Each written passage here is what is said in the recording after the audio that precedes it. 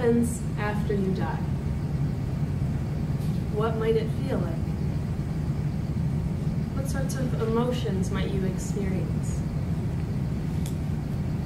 Lost Spirit explores just that.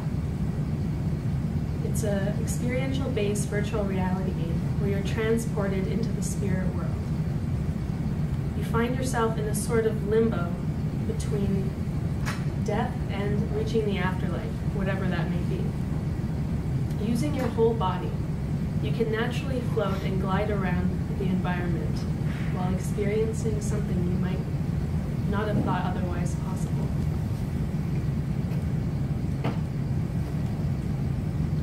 This game was designed by myself and another student at Simon Fraser University in conjunction with the Center for Digital Media. And we wanted to create this game or experience that explores embodiment, and I mean using your body. In this game, you'll experience four different worlds.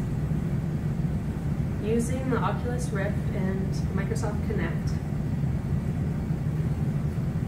you can use your body to move around float around the environment like a spirit might.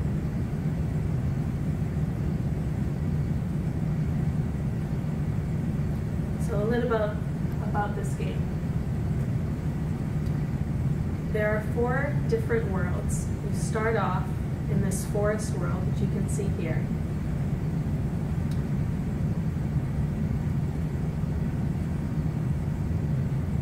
It creates a sense of kind of wonder, like what am I doing here? What's happening? Sort of curiosity.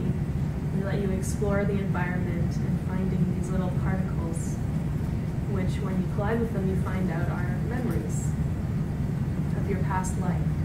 And you sort of replay these memories uh, in your mind. Once you've collected them all, you find this really big, large tree. And by colliding with the tree, you can give up these memories, sort of signifying that you're letting go of your past life. In the next environment, you find yourself in a canyon. And as you search, you can hear these voices, but you can't really see where they are. And finally, you find another spirit. You're not alone in the journey towards the afterlife, after all. And together, you can find other lost spirits too, and continue on to the afterlife. The next one, environment, you find yourself face to face with your greatest fears. These huge, deathly, scary looking demons, sort of like Sauron in Mordor, looking down at you. You have to make your way past them. They're shooting laser beams at you, and it's really frightening. But together with the other lost spirits, you can combat these demons face your fears. Sort of signifying this fear of death and that it's really frightening and scary and getting over that. And finally, at the very end of this experience, you have the short time where you're going across the ocean into the clouds. You get to fly around, sort of enjoying that you've made it, and finally accepting death.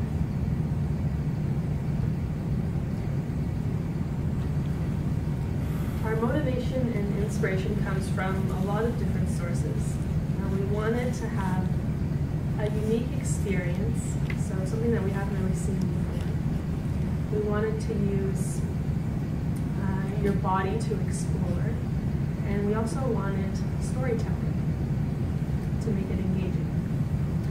Uh, Journey uh, from that game company is an experiential game, if you've ever played it, uh, where you're um, this person and you're not really given any instructions and you wander around this environment and kind of journeying up to this mountain you can see in the background.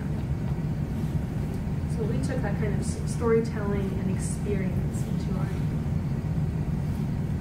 and on the more researchy side, there's wings and flying in immersive VR. Uh, and this is by Sikström, where they had a flying experience using wings. Um, I got to try out Birdly at SIGGRAPH a couple of years ago in Vancouver, uh, where you have the Oculus Rift on, and then you get to control this mechanical machine by flapping and tilting to be a bird in the city. And this is the King or Kinect Bing, where you use the Kinect to control a paper airplane.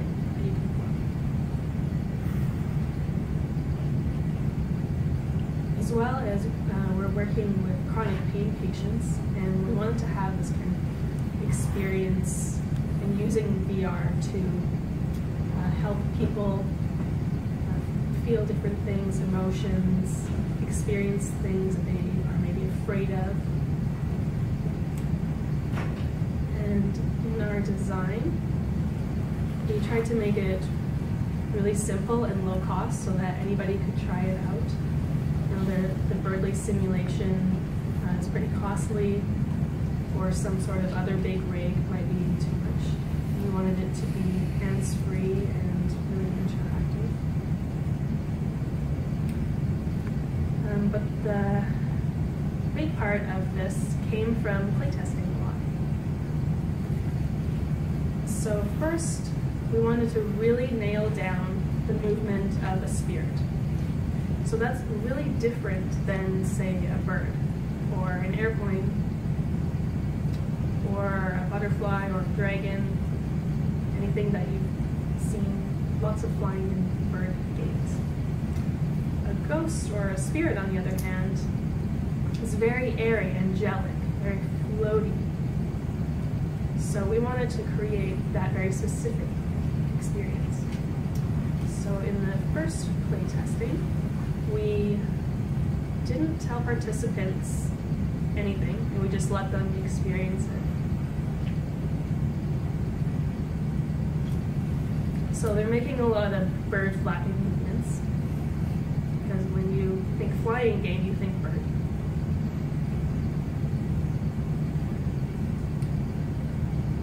And we found that they raise their arms a lot. Here's another person. For this initial prototype, our movements were just move your hands up, and then you would go up, raise your hands down and move down, and that, we found that was very discreet and static and didn't give us the flowy feeling we wanted. So, back to the drawing board, and playtesting part two. We wanted uh, some more natural movements, some acceleration, deceleration, and now we tried it with the Oculus. Tested out three different kinds of rotations. We found that was the hardest one to do. Now going up and down seems intuitive. And then we also did leaning, so forwards and leaning backwards really slightly. But the rotation is kind of weird because the Kinect is in 360, you need to always be facing it. You can't go like this or it gets messed up. So we tried out rotating with your shoulders. So if you wanted to move uh, to the right, you would rotate your shoulders like that. To the left, there was airplane mode, so you can bank left and right. And then the twist, where you could go like this or like this and rotate left and right. Here's one of our playtesters. Found that the movement was a lot more natural and smooth. Um, but there was issues with people getting tired and the head movement and the body rotation, it's hard to tell how much you've rotated because you're moving the head mounted display around, but you're also moving your body, and they can be inconsistent, which is confusing. And also being in, immersed in the virtual environment, things were a lot different than just like a big projector screen. And the speed was way too fast now or too slow. So, in testing part three, after we tested all three of those rotations and we asked participants what they thought of them, unanimously they liked the airplane mode. I think because as you're a kid, you kind of like go like this, fly around. It's really familiar, so people really like doing that rather than the twist.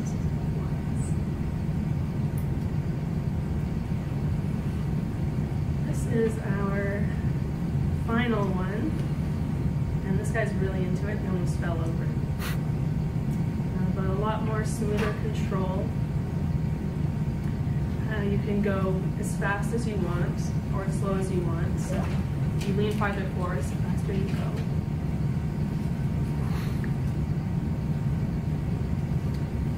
Um, so the flying and the floating mo movement was really key in this experience. And after a lot of playtesting and asking participants what they thought, we finally honed in on that. Um, some takeaways from this. Designing for a specific experience. So we wanted a very specific story and floating movement, like a spirit. And there were some hardware limitations for what we could do. Um, but we think we could try some other things perhaps. Uh, instead of being effortful, like leaning forwards, we can maybe step forwards or um, you can reach forwards. You could also make it more, we made it more subtle, so you could only raise your arms a little bit or, and then stay at that height.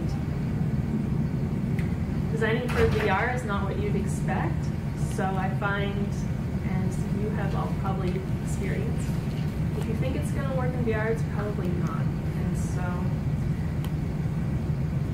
I want to design better VR experiences that take advantage of the 3D environment and and the fact that it's it's three dimensional and it's not just porting a desktop game or mobile game into VR, which doesn't work.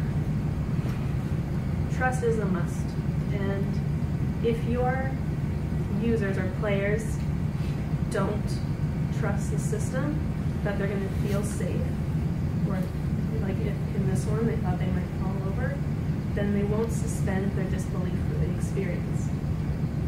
So getting them to really buy into this is okay, the movements that you do is not going to make you fall over is really key. Embodiment is cool, but is it worth the effort?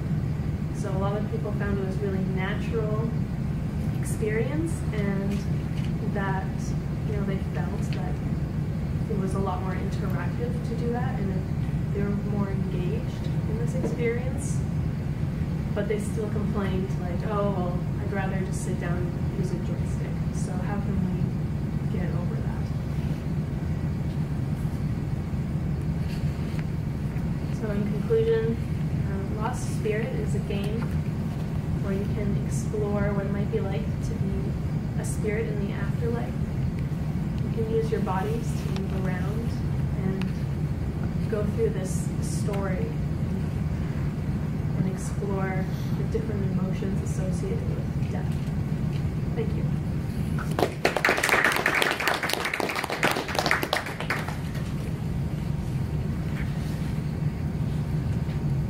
Yes. I have a question and then, depending on your answer, a follow-up question. Um, this is a cool project. Did you get to present this to the public, or was this mostly sort of internally uh, tried with your with your peers? This is internally.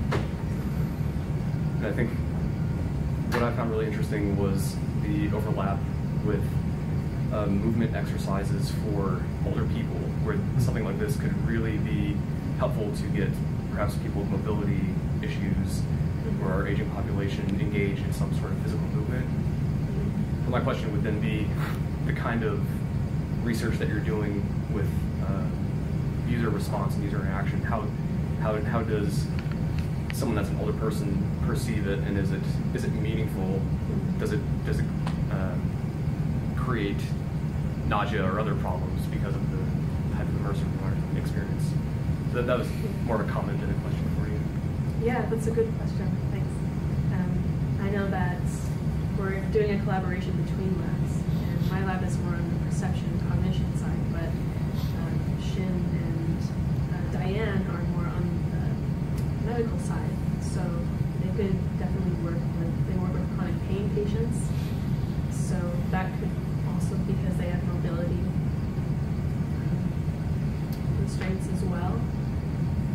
It would be interesting to see, you know, do they experience motion sickness? Because so far our participants are fine, but yeah, you never know with a more vulnerable population. Uh, I want to ask about your the perception of trust issue. Can you say a little more about what, what do you think are the biggest challenges, or what, what affected the, your participants' uh, sense of trust or unwillingness to suspend, suspend disbelief? What were the what were the problem areas? The problem areas I think were the leaning the most. So if you're leaning forwards, that's okay, but still eh, but especially leaning back. So how can you incorporate backwards movement in a natural way? You could step forwards and backwards, but still it's like having a blindfold on essentially. So did you get the sense that people were afraid they were going to fall over, or having trouble judging their real world limits? Yeah, not necessarily that they would fall over, but judging their real world limits. You don't know like what's around you, even though it could be a clear space, in your mind you don't know. Yeah. So there's this, uh, what you're describing is, uh, it's called human joystick.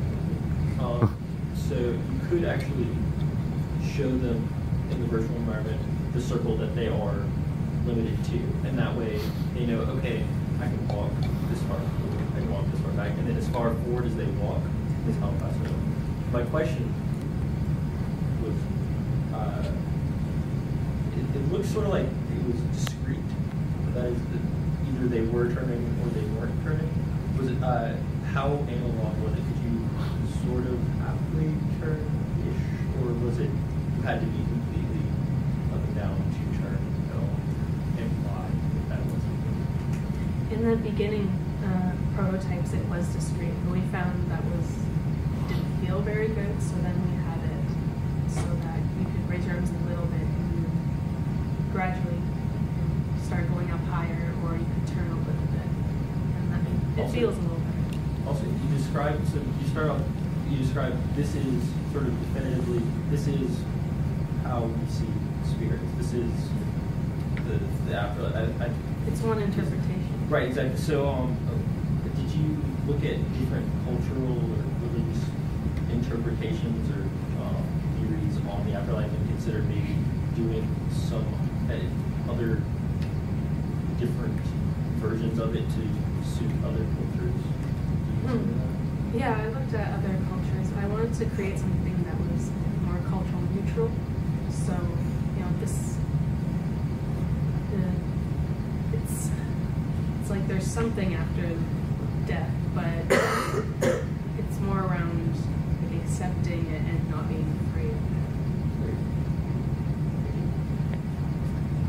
I'm wondering how this can help people process grief and how embodiment is related to that because I'm so when I was watching it I have experience with close people passing away and for me it kind of like triggered things when you were explaining the experience and I wonder if being immersed in that would make it even more powerful than not and so I guess there's two questions. One is have you had people that have said anything about that kind of like processing grief through your experience and the second one if you have any ideas of the relationship between that and embodiment